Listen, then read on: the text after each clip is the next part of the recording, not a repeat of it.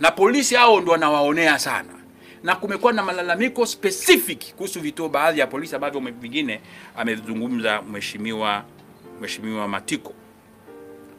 Kwa hiyo naomba majeshi yetu haya, sio majeshi, vyombo uh, vyetu hivi vya kulinda na kutoa haki kwa watu vitafakari namna ya kupunguza hawa, wakiamua kufanya fast tracking ya kesi za watu na kuchunguza kabisa, tume maalum ya kuchunguza watu wana makosa gani, watatambua nusu ya mahabusu ambao wanajaza magereza zetu ni watu ambao hawakustahili kuwa katika, katika magereza hizi.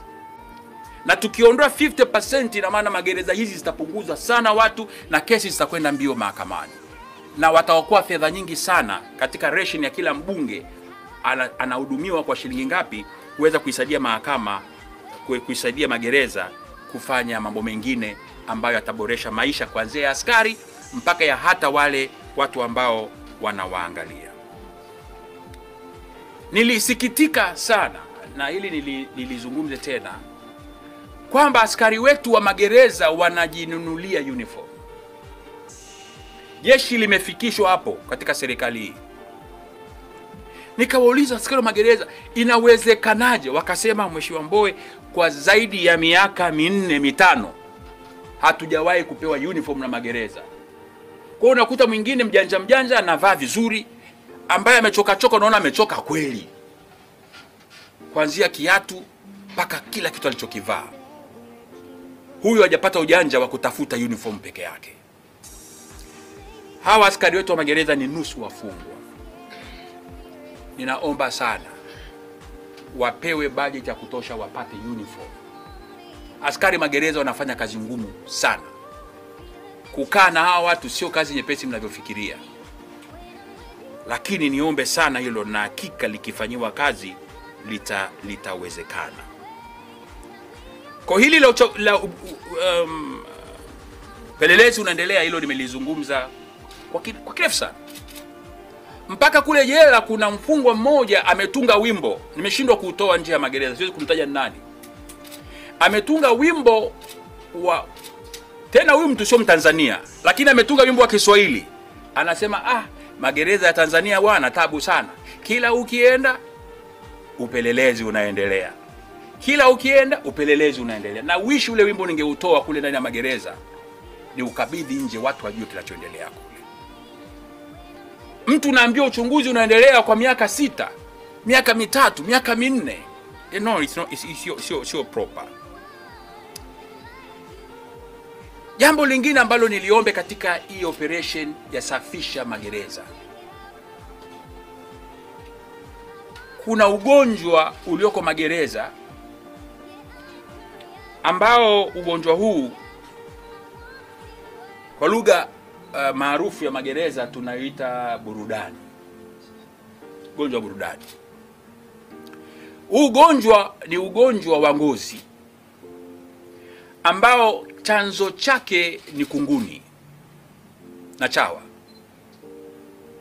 Huu ugonjwa uko sana magereza, na chanzo cha hao kunguni na chawa ni uchafu, na ni ugonjwa unaambukiza. Huu ugonjwa magereza zetu zikiamua kufanya operation zina uwezo wa kuufuta kabisa kwenye magereza. Watu wanatoka vipele, Kiingereza Kiingereza wana, wanawita scabies. Sijui kama katibu mkuu ni daktari, sijui kama ni sahihi, ni scabies. Yes, ndio, ndio burudani, si ndio? Burudani wanawita burudani kwa sababu ukipata na ule ugonjwa umelala, umelala unajikuna tu, alafu unajikuna zaidi sehemu zile zenyewe unajikuna kweli, sio mchezo, mpaka damu zinatoka, ngozi inatoka, yaani unajikuna sana, alafu mwisho mwili unavimba, vi- viungo vina, mwisho wa siku ule ugonjwa unaathiri baadhi ya organs za mwili kama ukiachwa kwa muda mrefu. Sasa wafungwa wetu wengi wana mazingira hayo, kwa sababu huduma za kuoga, huduma za usafi katika magereza ni ndogo. Kwa kwa msongamano uliopo, haiwezekani kila mtu akaoga kila siku. Kwa hiyo kuna watu wanaweza kukaa magereza wiki hawajaona maji ya kuoga, wengine hata wiki mbili na, na malazi wana, wanalala wanashare kagodoro kadogo ka ukubwa wa futi, futi tatu na inchi mbili unene, wanalala watu watatu. na wanalala mstari hivi kama watu mia. Hawa wana wageuka usiku, geuka hivi, geuka hivi. Sasa mmoja akishapata ugonjwa wa scabies, ugonjwa wa burudani pale, unawaambukiza na wengine. Huu ugonjwa ukifanyia operation ya mwezi mmoja tu, magereza zetu zinakuwa sawasawa sawa. Sasa wafungwa kule wanaumia, unaona sengine wanapata dawa wa- na, na, na, na, na vyombo vya huduma ya afya katika magereza wanajitahidi kwa kweli, wanajitahidi vya kutosha, lakini kwa idadi ile ya watu unakuta wale manesi na madaktari waliopo kwa watu elfu mbili na kitu ambao wako katika mazingira magumu, inakuwa ni shida sana. Kwa niombe sana sana tufute kesi zilizokuwa za lazima, na huu ugonjwa wa scabies wafanye kama operation ukishafanya operation ukaufuta ule ugonjwa ukaweka dawa akafanya fumigation kwenye magodoro na vitu kama hivyo katika magereza, huu ugonjwa utaondoka. Unawatesa sana sana sana wafungwa, hasa ukizingatia kwamba wanaishi katika mazingira ya kujazana, alafu kuna joto, kwa hiyo na, na jasho. Ugonjwa unaambukiza kwa, kwa urahisi urahisi sana. Kwa hiyo hilo ni jambo ambalo nina, nina, nimesema nili, niliombe sana kwa, kwa, kwa jaji mkuu eh, serikali kwa upande wa jeshi la polisi, jeshi la magereza vishirikiane kuliondoa, kulipunguza tatizo hili. Na la mwisho kwenye eneo hilo, wajitahidi sana sana, waangalie, wamulike mahakama za mwanzo kule, haki haitendeki kabisa, na wanasema justice delayed eh, ni justice denied. Watu wanacheleweshwa kupata haki yao, wanakuja magereza, wakija kutolewa wameshamaliza miezi mitatu, miezi minne.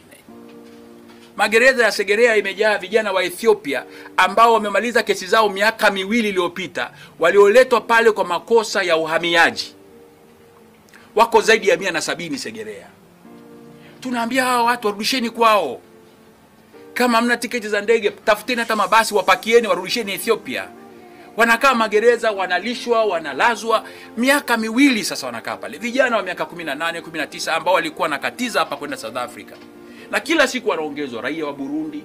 Sasa vitu kama hivi, hebu hebu hebu vyombo vyetu hivi vinaweza vikavifanya vizuri tu, na sisi bungeni mambo haya tuta, tutayapeleka.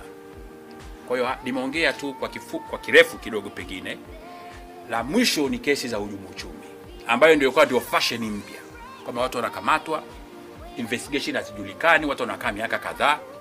Naomba nieleweke kama Mbowe na kama mwenyekiti wa Chadema. Hatupingi kesi zozote zenye kuleta haki katika nchi, lakini tunaamini justice